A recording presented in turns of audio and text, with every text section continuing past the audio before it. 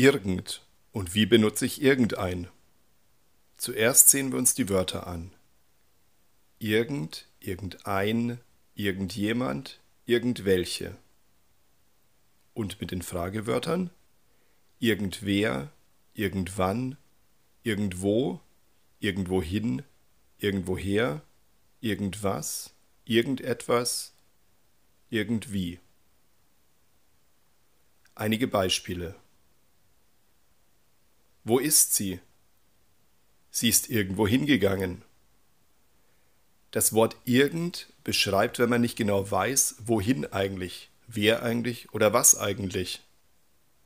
Wenn wir also sagen, sie ist irgendwo hingegangen, heißt das, sie ist irgendwo hingegangen, aber wir wissen nicht genau, wohin eigentlich.